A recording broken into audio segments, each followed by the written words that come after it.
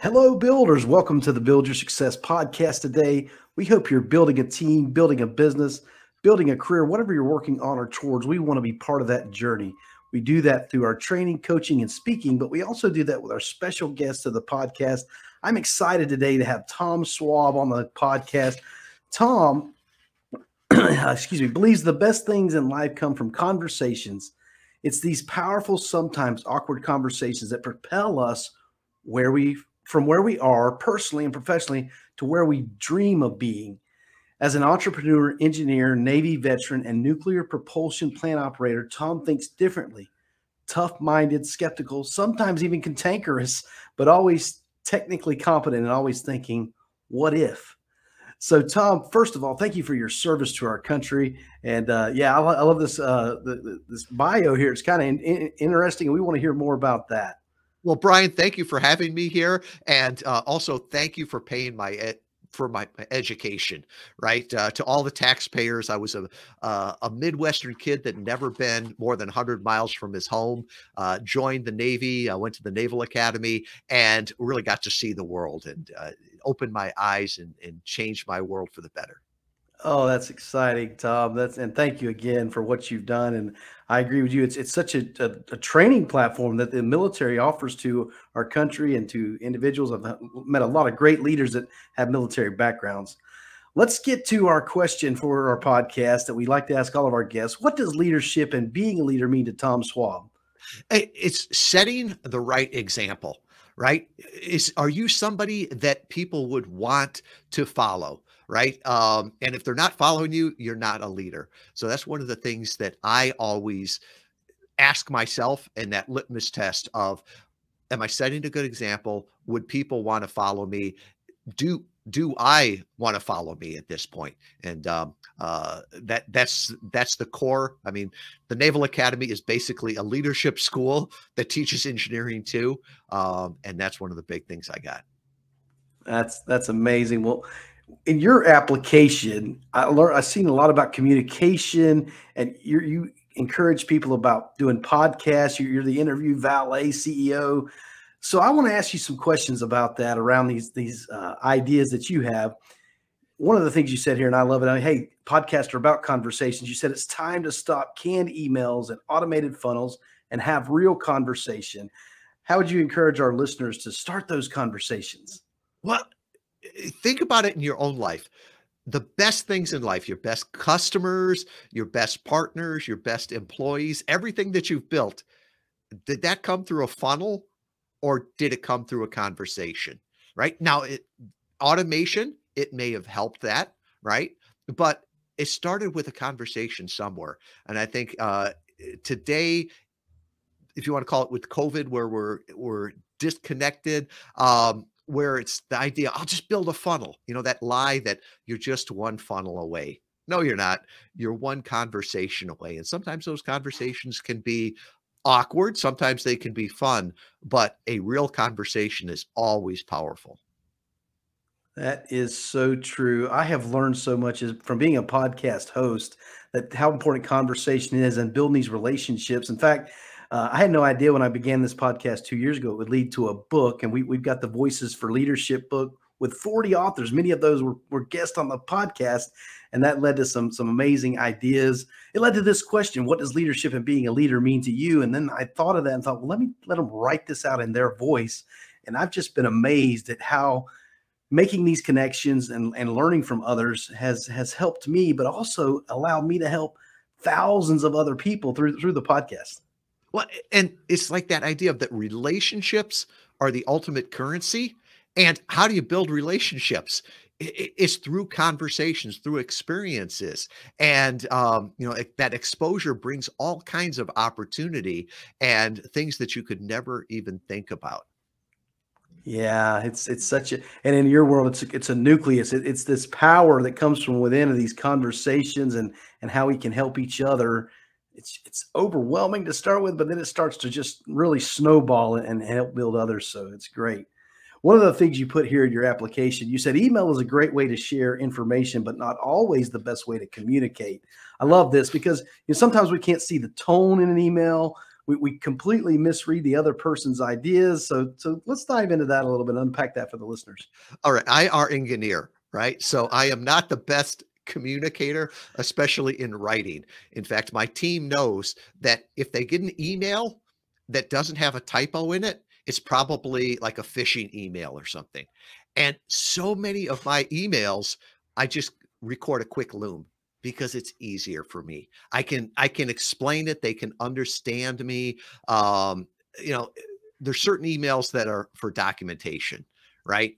Those I'll type out, put through there. But if I'm just trying to communicate something, to me, it's just much quicker, like, like Loom, right? Um, I think it's a, I've got the paid version, but there's a free version. You know, I can click it, record a quick video, email it to somebody, text it to somebody. It's such a richer communication, right? You're face to face with someone, they can see you, um, they can see, uh, they can see, sense your heart. And even, you know, there, I've never had a typo in a video. So to me, um, trying to get as much of a rich communication in no matter what I do. And I also, am, you know, remind myself and my team, you know, if, if you're not connecting over an email, replying with another email is probably not going to help it, right? Here's an old, old school idea. Pick up the phone um, call them or say, can we jump on a Zoom call for for two minutes? You know, uh, another thing I, I, I joke and I remind myself that sometimes peace and clarity come at the other side of an awkward 10 minute conversation, right? So let's have that conversation and let's both figure out where we are with this. That is amazing advice. I, I tell clients a lot of times, hey, let's stop the email war and let's let's have a real community. So my background, you know, I've been in contracting for 28 years, and there's a lot of difficult conversations. But but sometimes you know emails can set like a defensive tone, and then somebody goes on offense. It's back and forth. It's like okay, now it's time to pick up the phone, have a real conversation, and let these folks know where we stand instead of just trying to create a war with each other and and uh, technology is wonderful, but it can also hurt us, right? Uh, how many times have we sent an email and then there's an autocorrect in it, right? My my wife sends me a text, "I love you, Tim." Uh, I could I could be really insulted and say, "Who's this Tim guy?" Right? But I I know it's probably well. I'm telling myself it's an autocorrect. Well, that's that's true. In fact, I've had uh, my text to talk. And so, you know, verbally, I speak Southern is what I actually speak. And that text to talk sometimes will, will translate into things, words I don't use. so I have to be careful, look, read it before I send it out. You know, another thing that I, when you talk about the email communication, you know, I'm a personality guy. I, I like to learn about people's personalities and behavior styles and disc and and you can't do that sometimes in the written form and and I think that we just lose a lot of you know inflection what people are trying to get across and then we sometimes we misperceive what they're trying to say. So i think i love the fact you said that email is a great way to share information. I think that's a nugget that our listeners need to take away today. Write that down and and use other forms of communication when you really want to get your point across when you want to have a discussion a conversation.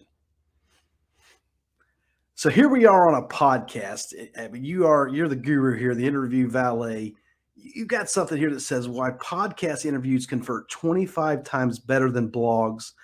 Here we go again. So you got the written form of a blog that has done really well in our industry and and for sales and things. But you're you're telling us that the podcast interviews convert 25 times better.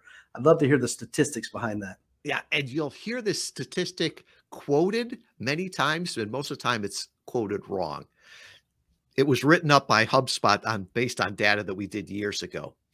It means that when they go to your site from a site visitor to a lead, a podcast will convert 25%, 50% right in there.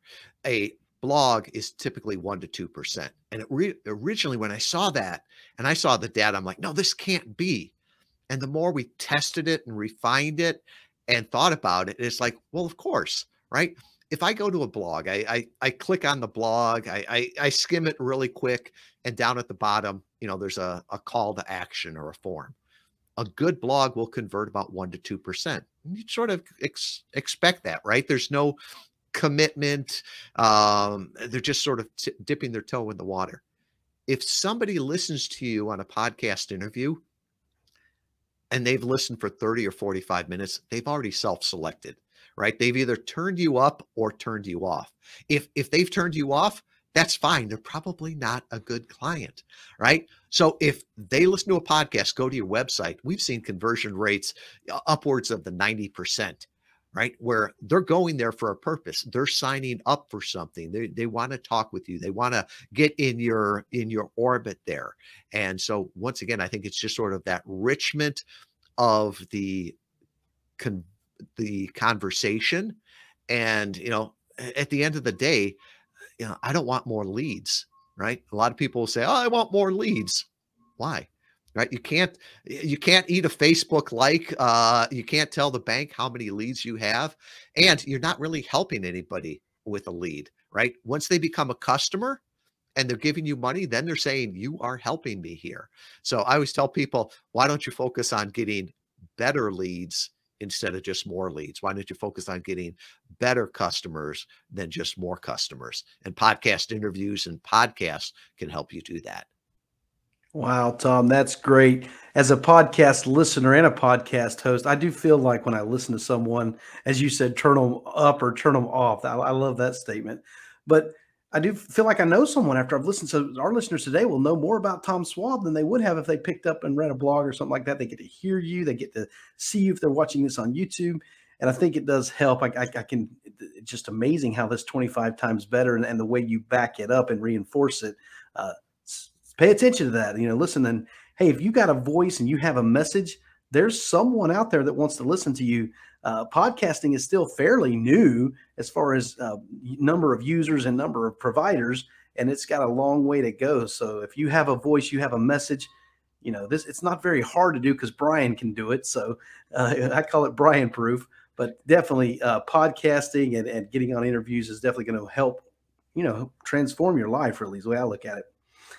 So that leads into you know we have a lot of entrepreneurs that, that listen to this podcast, and, and you have a question here for individuals. Have you ever thought your digital marketing might be actually hurting your business? Wow, that you're not breaking through the noise, you're adding to it. Unpack that one for us, Tom. I'd love to hear that. Uh, the first time I heard this idea um, came from a book called Clicksand by Bill Troy. The, the subtitle of it is How Digital Marketing is Ruining Your Business. And the more I started to think about that, it's like, it's so true. Is it insulating us from our customers or uh, is it connecting us with our customers? And, and often it just insulates it. Uh, you, you, think about it. Um, does the marketing you do, is it consistent with your brand? Um, we're working with one uh, client right now, um, and they've got an app that connects people and with real conversations. They don't do social media. And I said, Well, why is that? And he says, It's not consistent with who we are. Right. Um, I talked with another client that came to us, and um, I said, Well, why do you want to do podcast interviews? And he said, Because I see what other people are doing. I wouldn't buy from them, and my customers wouldn't buy from from that. And I said, Explain that to me. He's like, I'm a professional. I work with other professionals. He said, I'm not on Facebook all the time. Right. And if I was, I'm not going to hire somebody just because they had that Facebook ad. He's like, it's like, are you going to hire the lawyer that's got his advertisement over the urinal? Are you going to hire the cardiac surgeon that has the um, uh, the the park bench with his picture on it? He's like, no, it's not consistent with that. So um, the idea of having marketing, having messages that are consistent with your brand and consistent with who you're talking to. Wow. Hey, repeat that title again. That's that's such a great title. Yeah, it's it's a great book. It's called Click Sand, like quicksand, but yeah, Clicksand. It's by Bill Troy out of Ohio. Um, uh, Clicksand: How Digital Marketing is Ruining Your Business. Uh, you'll read that book as a business owner and look at marketing differently. Uh, it came out uh, quite a few years ago. I think he was the first sort of canary in the coal mine. Um, and uh, he got uh, a little bit of pushback from it. But as time goes on, I think more people read that and go, this makes a whole lot of sense. It really does. And think of that analogy of the quicksand, clicksand, getting trapped in that uh, likes and and followings and going viral and all those things. As you alluded to, that doesn't that doesn't go to the bank very well. And so you may have one client that you get on a podcast that's worth way more to you than a hundred likes. Very much so. And if you're eh, the what we learned for selling one and two dollar items does not scale up to relationships and and big ticket items and long-term engagements. And so i think it's it's wrong to say well it worked for them it'll work for me.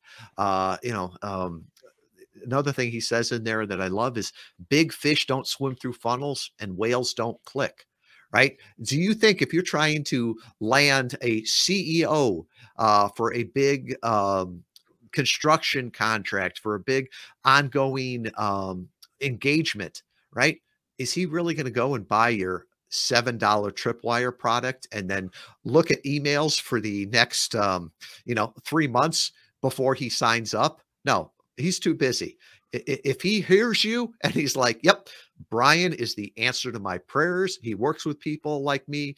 He helps people like me. I've got this pain. He just wants to get you on the phone and, and make it happen. Wow, that's just great advice. I love that. Well, speaking of books, Tom, you have a book. I'd love you to tell our listeners what, what the title of your book and then what they can find in that book. Yeah, it's called Podcast Guest Profits How to Grow Your Business with a Targeted Interview Strategy. Now, I just want to say in here that uh, I'll give you a copy of the book, right? I'm not here to sell the book. I'm not here to promote it. Um, and with that, it really just came out of people asking me, well, how how do you do this? Right. And, and thank you for putting that up there, Brian. Just go to interviewvalet.com forward slash BYS for build your success. You can get a free copy of the book there, right? If you're in the States, I'll mail it to you. If you're outside, I'll email it to you. But people were asking, well, how do you do this? And other people were like, well, it's a secret, it's a mystery, right? There's no secrets, there's no mysteries. What I learned in the Navy at taxpayers' expense was that everything is a system that can be refined, can be um, improved. And you know, those people that say uh, you can't explain it, that's because they don't understand it. No, it's basically just I went in there and said, This is what we have learned. This is what we have learned from our clients. Here's the step by step recipe to get results. And some people will come back and say, Well, do you have to follow all these steps?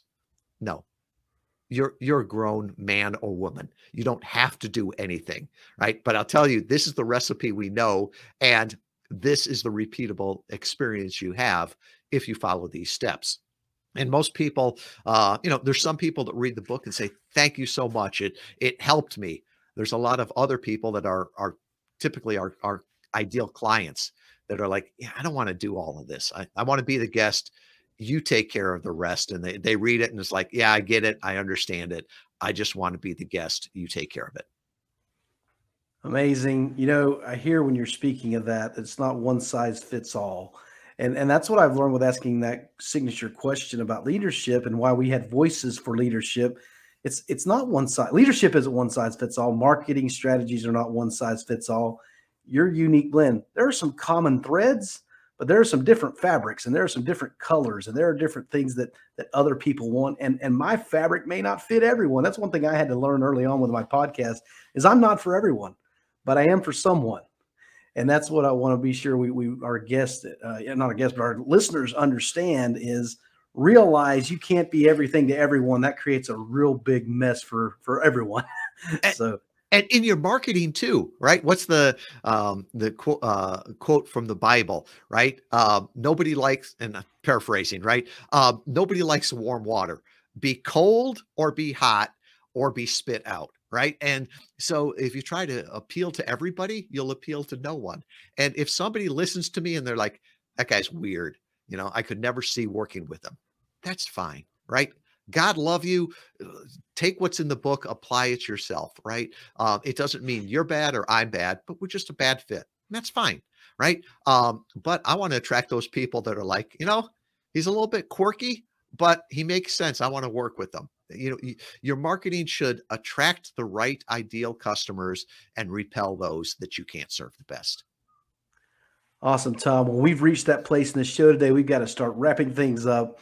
We'll definitely include that free book. Thanks for giving that to our listeners, this uh, book, the free book. You'll find that at interviewvalet.com forward slash BYS for Build Your Success.